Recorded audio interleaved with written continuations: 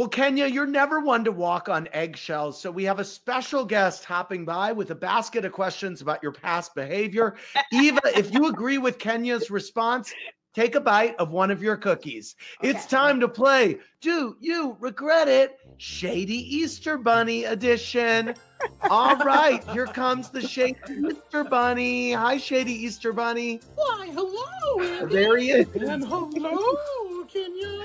Hi. Okay, I know you're very busy today. What's your first question for Kenya Moore, Shady Easter Bunny? I think you were a hair too harsh with Cynthia by questioning her wine knowledge in front of the group. Oh my! Looking back, yeah, I think so. I think it came across not how I intended it to be. So yeah. How did you intend it to be? Um, a little fun and a little shady, but not too shady. Okay. And I think it just went left. Yeah. Okay, Easter Bunny, what's next? Do you regret not hearing Nene out when she was trying to apologize in Greece? Can't we all just get along? uh, no, because um, you know I knew she was just waiting to give me a bunch of BS and um, be fake and phony, and I'm over the fake and phony, so I'm over her.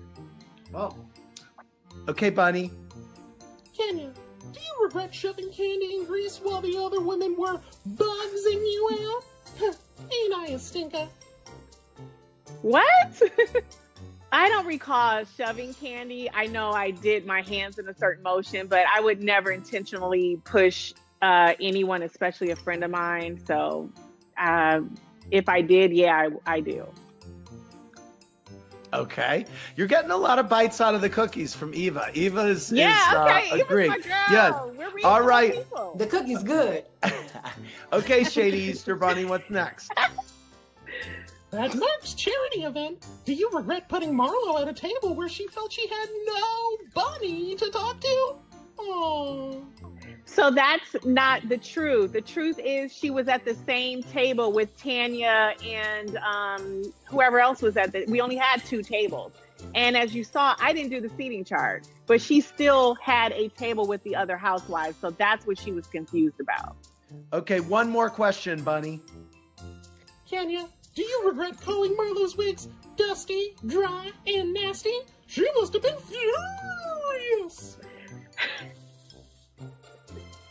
uh, no, I regret that I didn't include stank.